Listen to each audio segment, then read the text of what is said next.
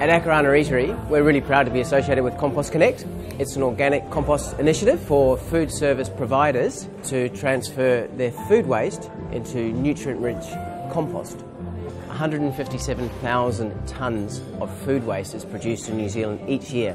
That equates to 271 jumbo jets, the weight of food waste. If that was diverted into compost, that would produce close to 110,000 tonnes of nutrient rich compost that can be used back into the soils for schools and for all other great purposes. In the first six months at Akarana Eatery, we would have converted 140 10 kilo bags into organic compost.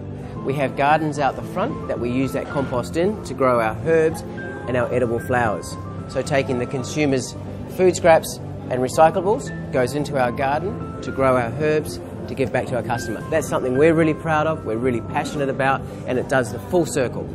From July, landfill levies are doubling and they're likely to go up sixfold by 2025.